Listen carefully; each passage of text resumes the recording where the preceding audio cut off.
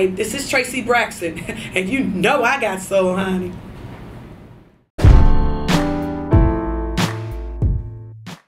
Okay, so your album Crash and Burn is coming Yes. soon. This album has been a long time coming, and you've waited, waited a long time for this one. Yes. What is it going to mean to you when this when this album releases?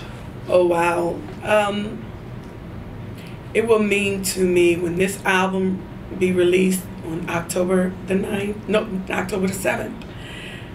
This means so much to me because it's like I accomplished something. You know, sometimes I'm not a finisher, a finisher. So, you know, I really got this one. It- Right. Yes, that orgasm is there. I did it. It's gone. Yes. Right. So it, it- it's going to feel real great, you know, finally having the product and having it out for my viewers and my fans to listen to. This solo project has been in the, in the works for years now, since you were with the Braxtons in the, in the late 80s, early 90s. So how did you never give up on your dream of putting out a solo album?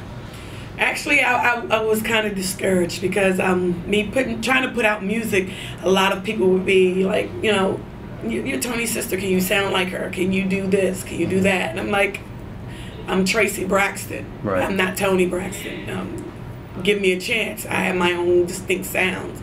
And one day I was in the office. My manager Cliff Jones was there, and I was just singing a song. One of the producers there, um, David Lindsay, was there, and he was playing this song, and I just kept singing it, and you know, just singing it from my heart and, and things like that. And Cliff finally was like, Traci, I was like.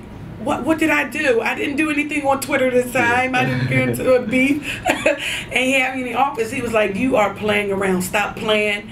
You need to be in that studio, learn that song in two days, and you come back. Right. And he and it went from there. That's awesome. Oh yeah. And You- I'm signed to eOne. Yep. And and you chose Last Call as the single to lead this album. It's, it's doing well right now. What Yes. made this the one you wanted to lead with? Um, I'm, you know, I'm going through a little difficult time with my husband on marriage boot camp, and during that time, you know, I, I forgave him for the long, long time ago that when we first got married, it was infidelityness, and you know, I did it back to him because I was mad with him, but with with the last call, I still have love, and I still want that there, and and I want you to do right, and and this is the last time. This is the last time. I, then I'm gonna have to give up on it. But you know, the dude do come back. You know, Right. he comes back and Nice. makes me happy and makes me want to kiss him in his mouth all the time. So you know. Awesome. Talk about the rest of the album and, and what we can expect to hear there. Oh wow! Um, I'm doing a, a duet with Raheem DeVaughn. It's called "Stay Oh, wow. Sippin'." Uh, Tank uh, wrote on the album, and my brother wrote a song also. And um, the song my brother wrote, um, it was supposed to have been for Toni, and it's called "Reasons." And he gave this song to my sister a long time ago when my mom and dad went through their um, divorce and things like that. So Toni never used the song. And I was like, hey, I would like to use this song. I love this song, you know. Right. And Mikey was like, okay, but you got to ask Toni because I did give it to Toni. And I asked Toni about it. And she was like, yes. And actually, I was like, okay, yeah. She passed the torch to me because when Anita back when Anita Baker passed the torch to Toni, it was several songs from Toni's first album with Babyface.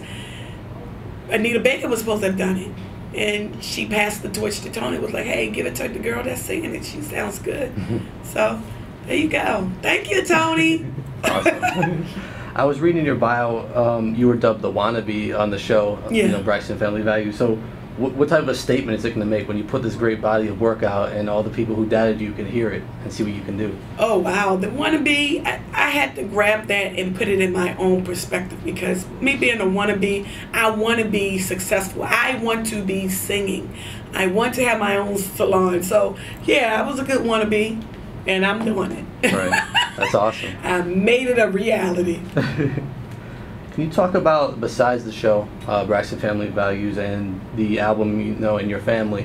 What are some of the other things you'd like to do? Anything else you dream about in the future? Um, me finishing hair school, um, me going back to dancing classes. I need that. Oh my God, I, I miss it. I used to be a ballerina. I did tap, jazz, you know, all of that. But I really miss dance classes. Right. Okay. Yes, it, it, it's a different kind of um, expression. Right. You know, you're expressing with your body and, and flow and angles and yeah, Awesome. and lines.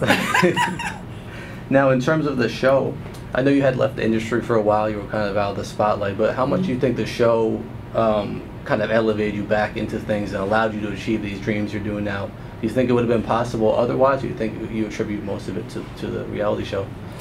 I have to say, me, you know, going singing and, me pressing on and following my dreams, that the reality the reality show really helped a lot. Right. It, it helped a lot. It, it catapulted my my ability, my capabilities in, in in singing and hearing the family sing and knowing that I can sing. Right. So I I think it helped a lot of us a great deal. You know, Toni was already in the spotlight, and then you have my baby sister Tamar had her album out and Right. and everything like so. A lot of positive things came out. Trina, she had a little single out, Yeah.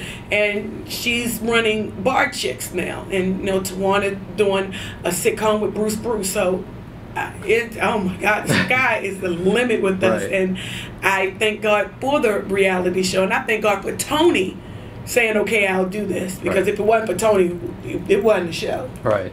Was there any any hesitation about doing the show initially? At first, it was because I was like, I really don't want people to know my damn business. I have too much to say, and then everybody know my mouth is out of control at times. Mm-hmm. so you know, when first season came, and you know, I was more laid back, and, then next season I started progressing. Was like, you know what? Hey, I have a lot to say too. Right. Awesome. Now, love to hear the history behind the artist. You know, talk about what you remember about signing with Arista back in the day with your sisters and, and being in that whole situation with the Braxtons late 80s. What do you remember Oh, most? In '89, my senior year, I'm not supposed to say that? um, we signed to Arista Records, and it was a rewarding. Uh, it was so rewarding because we worked so hard, right. with me and my sisters, and my baby sister was only about ten, if that, and.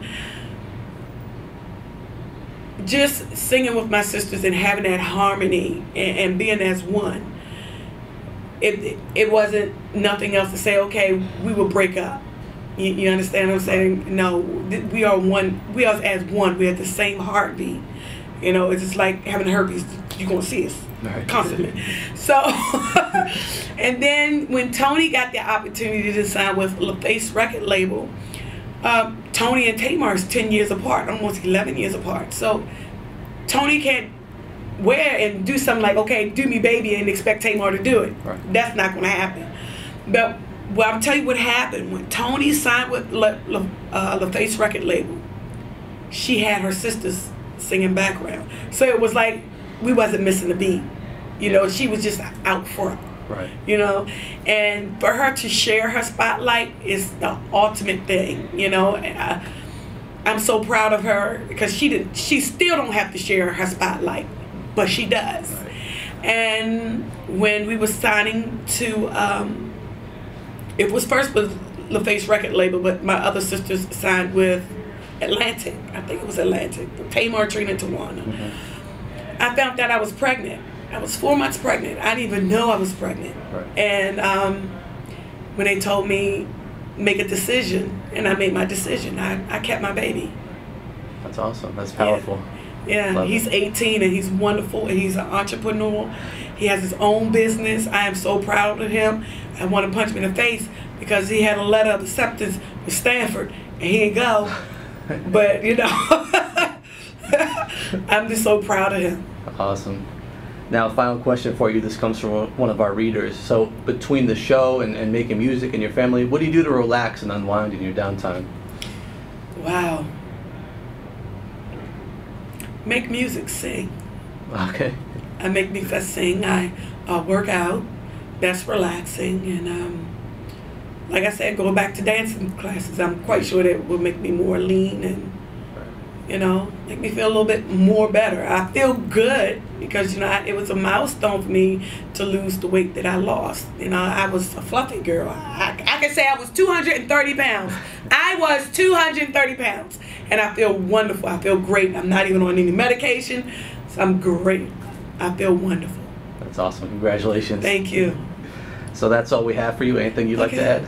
I would like to add thank you guys so much for supporting me and being my backbone when I felt as though I did not want to do it and I did not want to press on and, and was feeling having a pity party. Thank you for continue to say, you know what, Traci, stop that. Mm-mm, that's not what you're about. And helping me get up, brush myself off, and keep going. I owe it to my fans. Thank y'all so much.